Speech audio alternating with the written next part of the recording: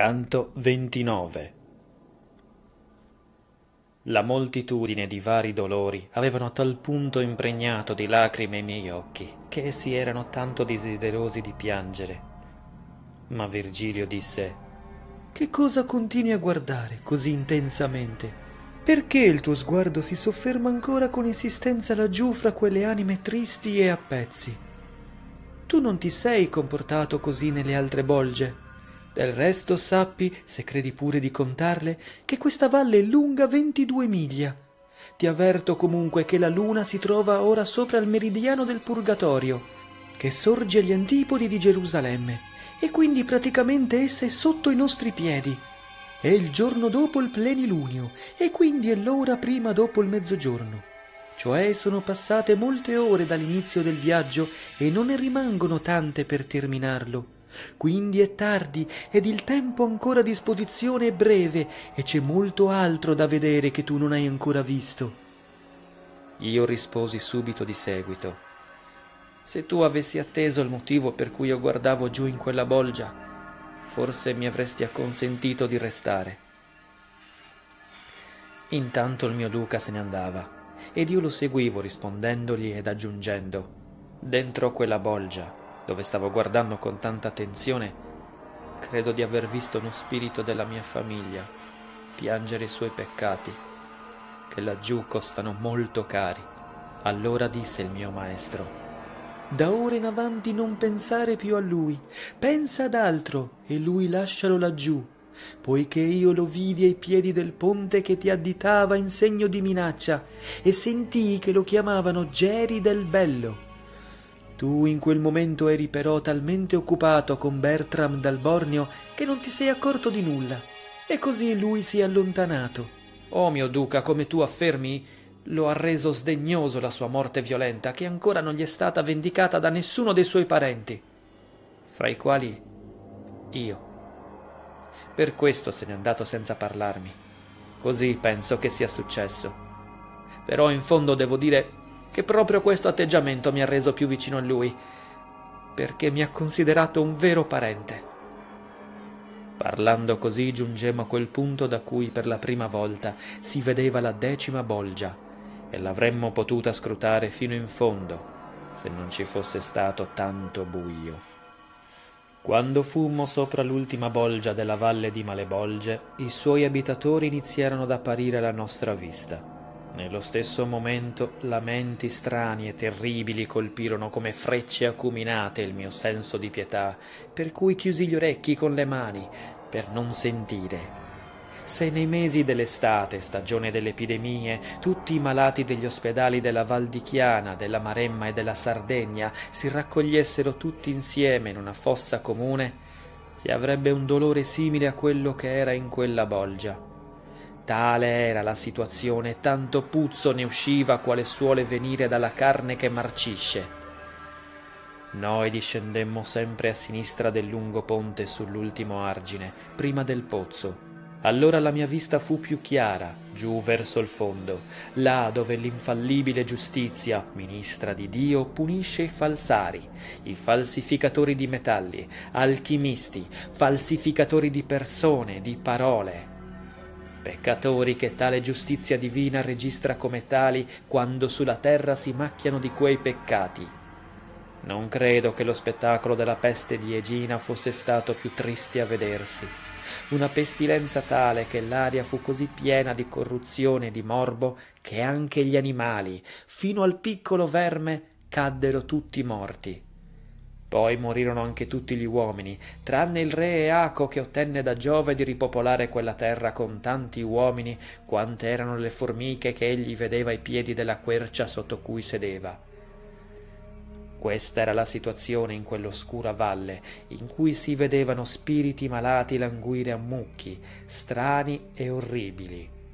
Giacevano, chi sopra la pancia, chi sopra le spalle, l'uno dell'altro. Ed alcuni si trascinavano carponi lungo quella triste valle.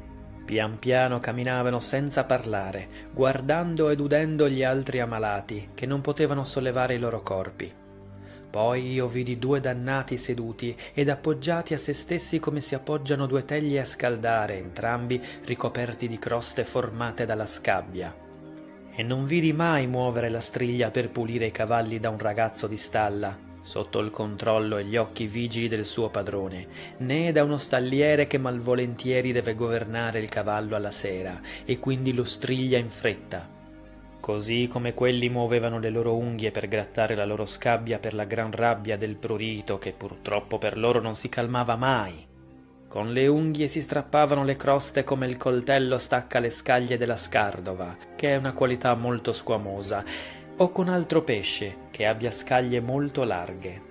O tu che ti laceri con le dita, disse il mio duca ad uno di loro, e che te ne servi talvolta come fossero tenaglie, Dici se qualcuno qui nel mezzo è italiano e se codeste unghie ti basteranno per l'eternità a fare codesto lavoro. Italiani siamo proprio noi, che tu vedi ambedue qui ridotti in questo modo, rispose uno piangendo. Ma tu chi sei che domandi di noi? Ed il duca disse, Io sono uno deputato a venire quaggiù, insieme a questo uomo vivo di bolgia in bolgia e con il compito di mostrare a lui l'inferno. Allora le due anime che si appoggiavano l'un l'altra si staccarono tremando per il mancato appoggio e si rivolsero a me, insieme ad altre che udirono in quell'istante quelle parole di Virgilio. Il buon maestro si avvicinò a me con affetto, dicendo Chiedi a loro ciò che vuoi. Ed io, dopo aver avuto il suo consenso, dissi affinché la vostra memoria, il vostro ricordo possa non scomparire sulla terra dalle menti degli uomini, ma possa essere invece conservato a lungo. Ditemi chi siete e di quale città o regione. Non vi spaventi la vostra triste e sconcia condizione a manifestarvi, a farvi riconoscere da me. Allora uno di quei due rispose Io fui Griffolino d'Arezzo Alberto da Siena mi denunciò e mi fece bruciare come eretico, ma non mi ha portato qua giù ciò per cui io fui erroneamente condannato. È pur vero che io parlando per scherzo un giorno gli dissi io saprei volare. Allora lui, che era un povero sciocco, un vanitoso, un crudele ed un superbo, volle che gli dicessi come si faceva volare. E solo perché non lo feci volare come Dedalo, mi denunciò. Come eretico all'inquisitore vescovo di Siena, che lo amava come un figlio. Quindi mi fece salire sul rogo, ma io sono finito qui nell'ultima bolgia delle dieci, perché Minosse, che non può sbagliare, al contrario di coloro che sbagliano, mi fecero condannare per eresia, mi condannò invece per il mio vero peccato, che non era stato appunto quello dell'eresia, bensì quello di aver praticato l'arte dell'alchimia. Allora io dissi al poeta Virgilio, ma ci fu mai gente tanto vana e sciocca come quella senese? Beh, certo non così tanto quanto la francese.